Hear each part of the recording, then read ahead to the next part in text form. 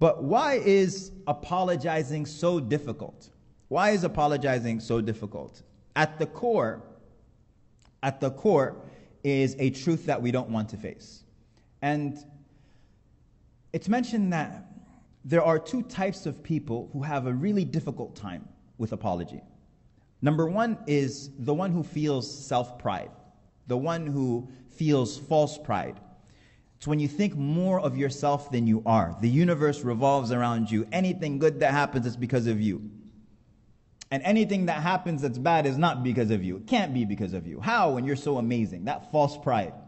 But the second, and this is actually very telling, interesting, shocking even, that person who never apologizes and you assume that it's false pride, it could actually be because of self doubt.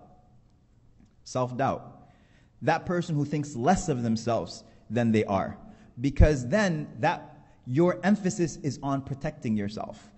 Your self worth becomes attached to people's validation. And so when I assume responsibility, or when I say that I'm wrong, or when I acknowledge that I have made a mistake, then I have acknowledged imperfection. And that imperfection makes me uncomfortable.